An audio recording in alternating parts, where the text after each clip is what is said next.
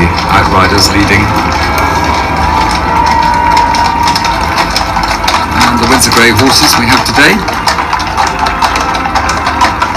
Milford Haven, Storm, Plymouth and Tyrone are going to lead the Duke and Duchess through Windsor. But first down to the advance gate and past the television village that has grown here.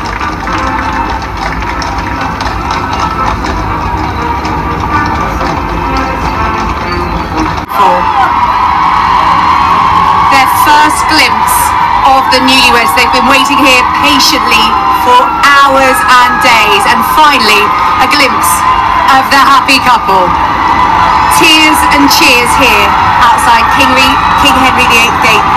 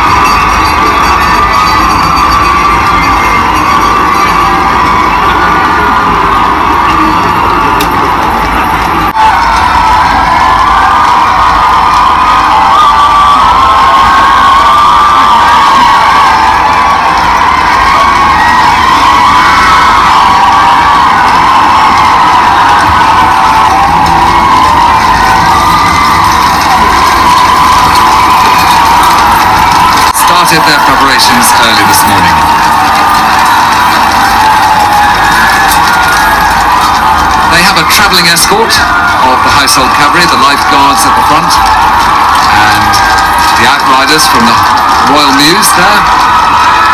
Their purpose is to make sure that there are no obstacles for the carriage.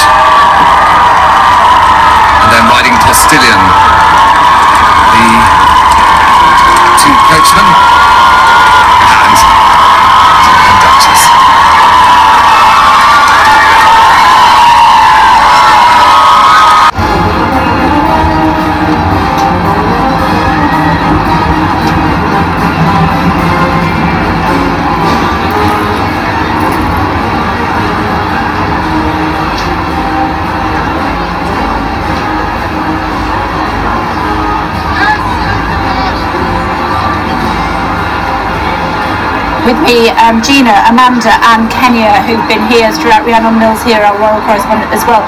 Um, Gina, she's going to be laughing this up, isn't she? Yes, she is. She's loving it. Look, I mean, it's just, it's a moment in time. It's we, we're going to remember this forever, and so will she. Um, this is something that every girl dreams of. It's a modern day fairy tale, and it's actually happening right now. It sure is, and it's a modern day fairy tale for um, the palace, also for her, a mixed race woman in the palace, part of the royal family for the first time. For the first time to see her mother, Doria, to see the image of her sitting among the royals, and to see how diverse uh, the guests were. I mean, a mixture of Americans and British aristocracy and royal. It was so touching. I felt like I was in Virginia in my, my home church for a second. So just this mixing of worlds was really just really beautiful and frankly moving to see. What did we think of the dress, Amanda? absolutely perfect. Exquisite, yeah. Absolutely exquisite. I think she completely nailed it. Uh, it looks so modern. I loved how pared back it was, or is.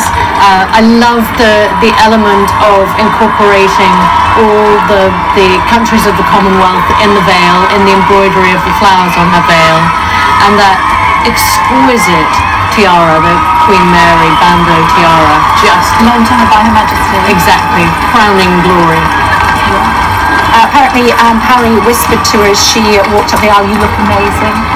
She does, and, and also I love the fact that her makeup was so pared back. She wasn't It's going to be something like half an hour or so this parade down Castle Hill along the High Street. We've seen that already through Windsor Old Town and then along the long walk here. Rhiannon Mills is here too. Quite the day for both of them. And in the last couple of days, as they were here in Windsor, as the sun was shining, as they were doing those rehearsals with those bridesmaids and page boys, who actually were remarkably well behaved on the day. Under the circumstances. Under the circumstances, they were. I was told that they had to have a number of rehearsals with the little ones to make sure they knew exactly what they were doing. But some really touching moments, weren't there, when Meghan was there walking down the aisle with the two twin boys uh, carrying her veil. It was just so beautiful. It most, most certainly was. The other thing that touched me greatly was when they came out of the church and the happy couple left to, to take part in this procession. We saw Charles offering an arm each, both to Camilla and indeed to Meghan's mum. I have to say, we have got to think about Doria Ragland today. She was sitting behind her daughter, looking very emotional, I think, throughout the entire service. As Meghan was taking her vows, I took, took a look at, Doria, and she was there nodding her head in support of her daughter. Of course, there has been discussion this week about the fact that Thomas Markle, her father, wasn't able to be here because of health reasons. And for the royal family, I think one of the important things for them has been to be to rally round Doria Ragland. Since she arrived here in the UK on Wednesday, she has had time to meet Prince Charles Of Cornwall. We're told that they had an incredibly jolly cup of tea and got on extremely well. And it was yesterday that Doria Ragland also had what some may say that rather daunting task of sitting down to tea with Her Majesty the Queen and also the Duke of Edinburgh. And I've remarked that obviously she didn't want to keep her groom waiting. I'm hoping they won't go too fast. These people have been waiting for such a long time. Okay, I'm being pushed out of the way a little bit by Gary. I think I'm slightly in the way. They're just coming our way now. Uh, they have a reception for 600 people after this, uh, hosted by Her Majesty. So everyone who's been inside St George's Chapel at the moment will now be being chaperoned to St George's Hall, where they will be having. Forgive me, yeah, the Hall. Don't worry, that's where they'll be um, having their reception uh, this afternoon. And we're hoping that we will get some details about things like the food, maybe if there were any speeches, um, but we'll have to wait Some to see. suggestions Meghan might speak. Hey, why not? We've Yeah, had a mix, haven't we? very Today, nice. traditional and modern, and I think, she is a proud woman, independent, all up for equality, and yeah, wouldn't it be a nice touch if she stood up? And they paid tribute to her mother. Yeah. Uh, going to, I can just see the horses now. Um, they're going to be in front of our cameras within, I'm going to say, the next 30 seconds. Don't go anywhere. This is really exciting. And the Ascot Landau that they're travelling in was especially chosen because it's actually quite high up, which means that the crowds will get a fantastic view uh, as the couple head past, and hopefully we will also uh, get a good view of them as well. Same Landau carriage that was used by Wills and Kate. So this was the same carriage that Prince Harry actually travelled in with uh, the Duchess of Cambridge's sister. So when he was best man, he travelled in this carriage. Okay, here they come.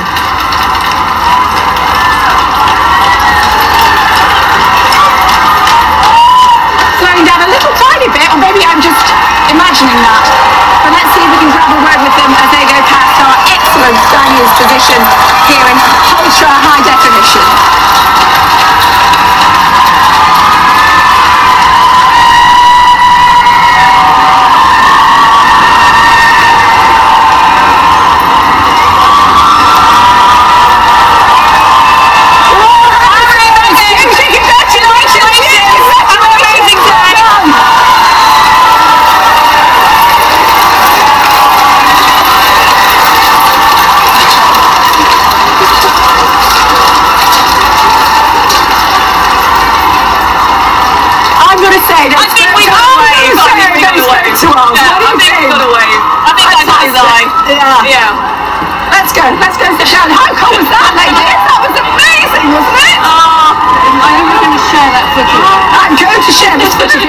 If you have enjoyed this video, then please give it a big old thumbs up.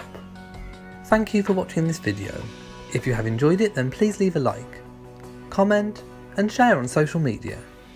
Don't forget to subscribe for all the latest channel uploads. From me in Shropshire, goodbye.